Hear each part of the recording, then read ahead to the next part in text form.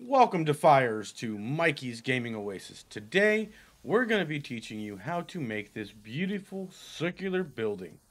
In this iteration, for my build, my viewers requested that I make it when we were making our villa. I personally am using it as my alchemist sanctuary, but it can be used for whatever you want. A temple, a refuge, a lounge spot. 100% up to you, so let's get into it. Okay, so we just took a look at my alchemy station, and we've now moved to my testing area. This is where we are going to build this lovely circular building that can be used for all sorts of things. If you find this information helpful and interesting, please ensure you like, subscribe, and share this content with your fellow defiers so they can learn how to make these beautiful structures as well. If you have any questions or comments, please make sure you post them in the comments below. Go with a small pillar. I'm going to put this pillar right here. What that's going to do is that's going to allow me to get a snap point that I'm looking for.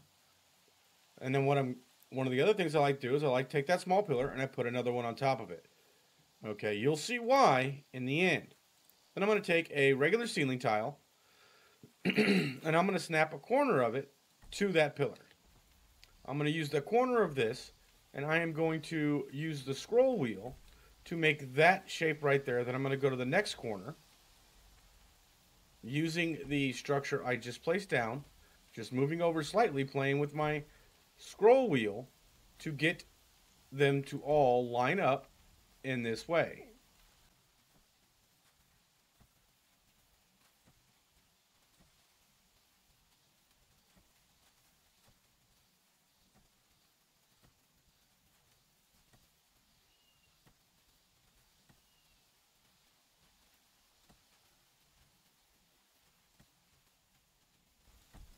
So as you see, we're down to, we have this entire side done, and then we have these two lined up together. So what we're going to do is we're going to go to, just like we did on the previous one, except for you see it doesn't snap into it. So what you're going to do is you're going to play with that with the scroll wheel to get it to go where you want it to. And you're going to continue that process all the way around still.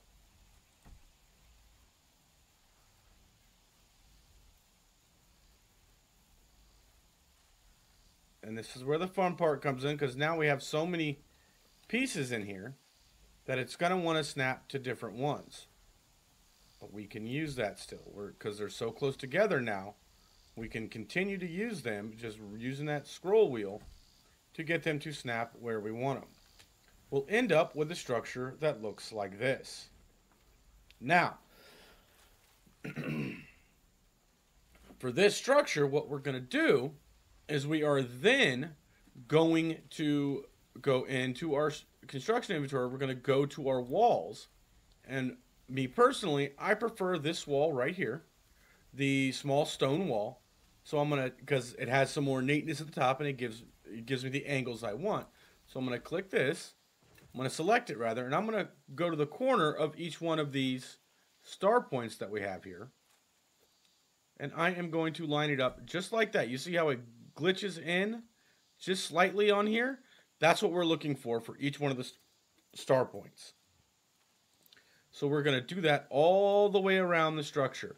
You have to move around a little bit to get it to do what you want sometimes, but you will see the end result in just a minute as we speed through this.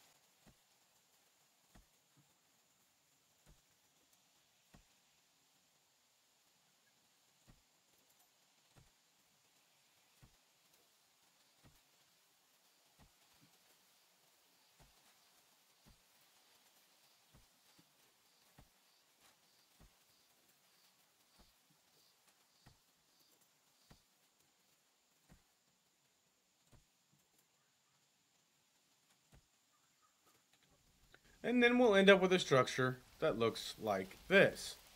Now, the next step that we're going to do is we're going to remove all these large stair, all these large or regular ceiling tiles.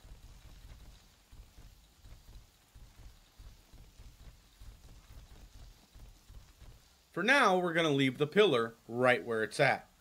The next step is to go back to the floors and we're going to grab the small ceiling tile. We are going to line each one of these up with every single one of the walls that we just put in. Whoops. Sorry about that.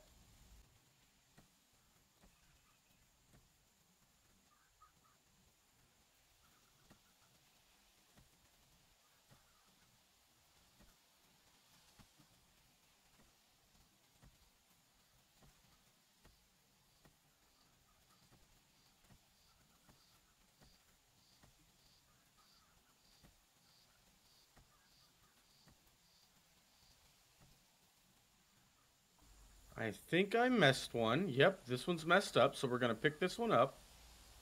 And we're going to replace it. There we go. And what we end up with is a structure that looks like so.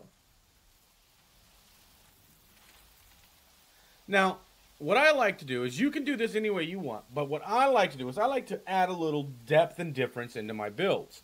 So, for my next step, I am going to use the wood stairs. So I'm going to go into my build inventory. I'm going to go to the stairs. And I'm going to pick the stone stairs small exterior. Now with these, it's going to be fun. What we're going to do is we're going to come in here and we're going to go to each one of the ceiling tiles we just put down. And we're going to line the stairs up with those ceiling tiles.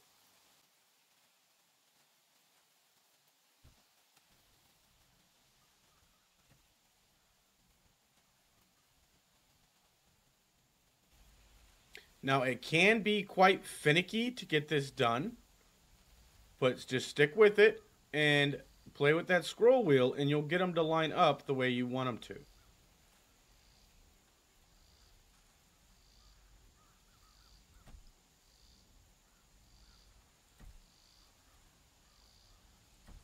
I have found that looking at it in this angle does make it easier to do this.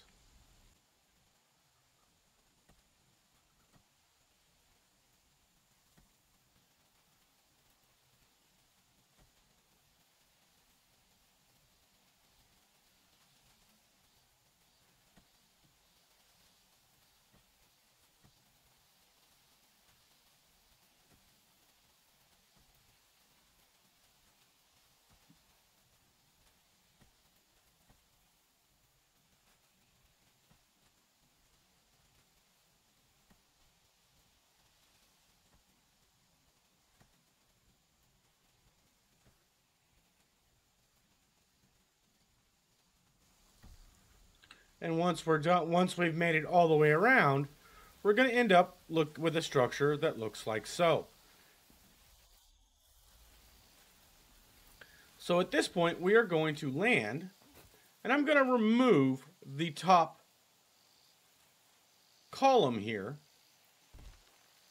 And I'm going to use that center point that we established earlier for the next part, which is decorative. You do not have to do it this way. There's other methods you can use. So I'm going to grab my small floors, my small ceiling tiles, and I am going to basically use the same technique we did in the beginning, but this time I'm using the small ceiling tiles for the center. For the center.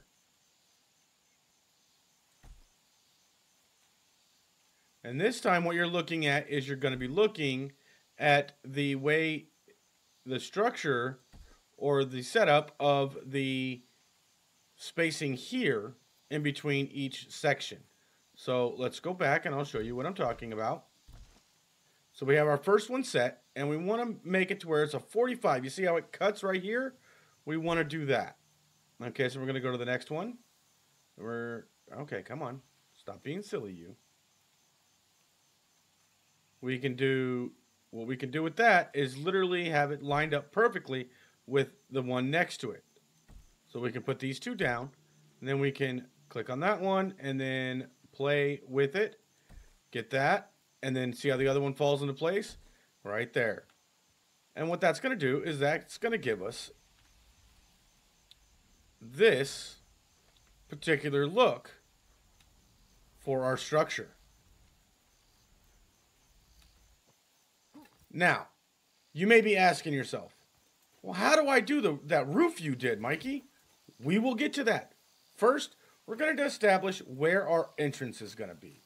So for this build, we're going to make our entrance right here. So what I'm going to do is I'm going to go back to the stairs, and I'm going to go to the stone exterior small stairs. Okay, and what I'm trying to do is I want to get it right. So we're going to do our center point here. So what I'm going to do is I'm going to use those stairs here, and I'm just going to play with them a little bit to get where we want. Now, the next, uh, I'm using the stair, the wall for the first stair, and then I'm using the ceiling tile for the second stair and the third stair to get the angles I am looking for. There we go. Like so. And then I will place these stairs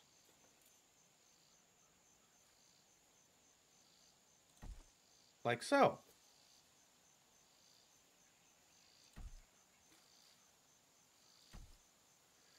Now, you can play with this as much as you want to try and get these to line up, but I have found that they won't really curve too much. So if you leave that just right like so, you're fine. And you now have your entryway. Next thing we're going to do is we're going to grab our, go to the decor, and we're going to grab our regular pillars, our regular pillars right here. Okay, and we are going to place them on the on each corner. So here, like so, making sure not to mess with the with the mouse wheel as as soon as we start playing with the mouse wheel, it changes the orientation of these wheel of the columns, which we do not want for our next step coming up.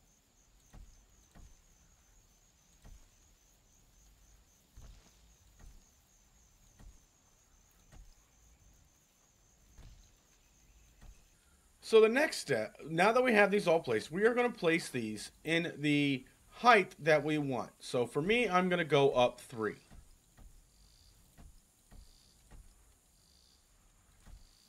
I'm going to have it three columns high.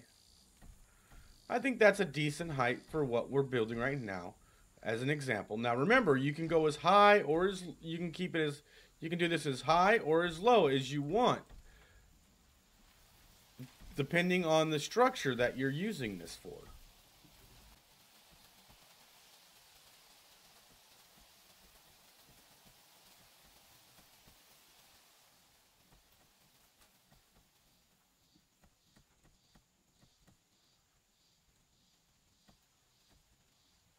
Okay, now that we have those set, it should look like this. Now, the next thing we're going to do is we're going to go back into our inventory. We're going to go to our roofs. You can pick whatever roof you want, depending on how your structure is being made. Me, I'm going to go with the sloped stone roof here. And I'm going to pick, doesn't matter which one you start with, any of them to start. I'm going to pick this one here. Okay, and I want the roof to slant inward. I want the roof inward once I can get it to, aha.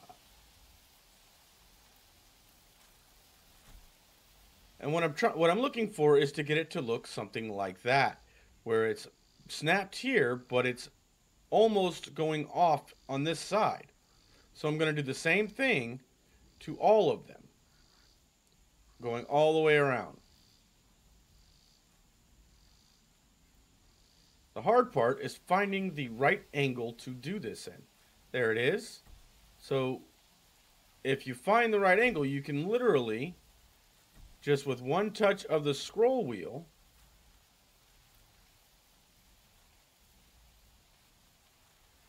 oops, and I spoke too soon. I must have hit the scroll wheel. There we go. We can get each one of these to snap into the place we want, like so.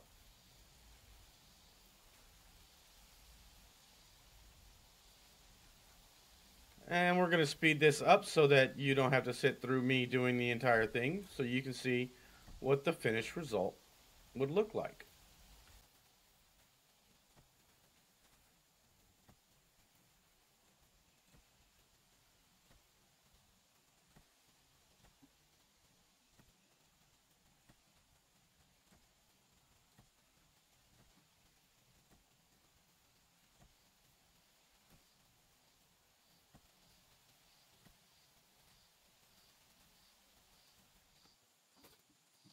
Once that is done, you will have this lovely look from the top all the way around your structure, the roof of your structure.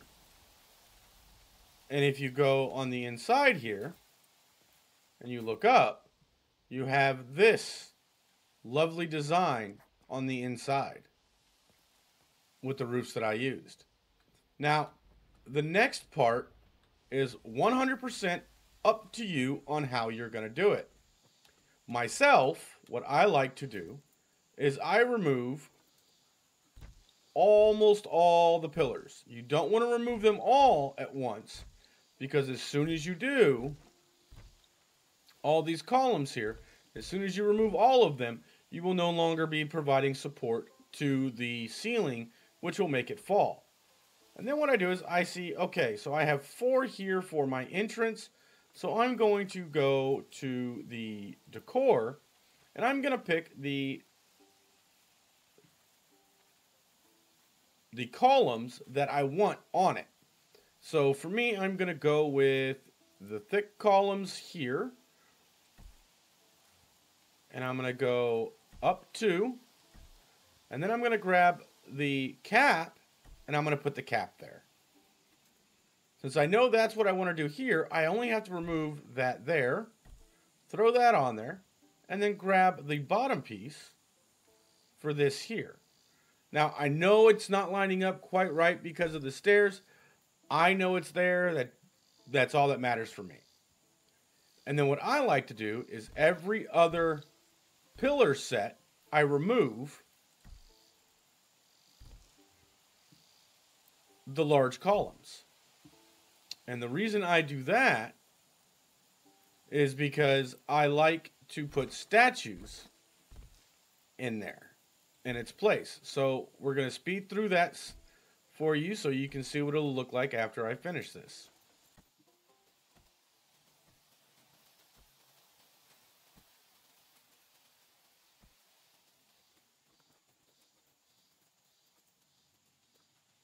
So I found an error here where it comes out odd.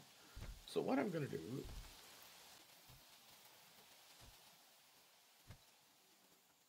I'm going to pick these up. That's one of the good things about this game is you can pick up your stuff without losing your shirt when it comes to materials.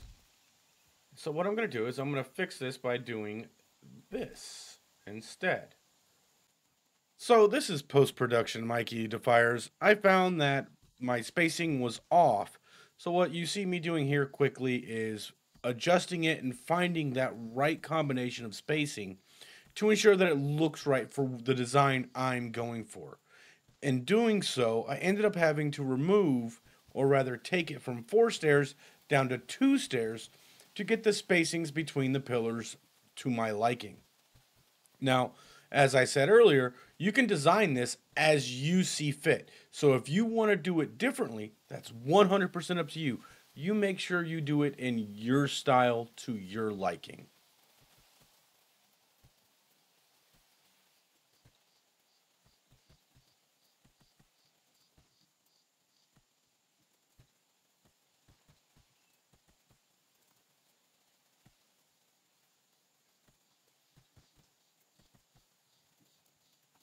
And what you'll end up with is this here. I sometimes put statues in here. I've put a statue right in the middle and make it a shrine. That's 100% up to you on what you want to do with it.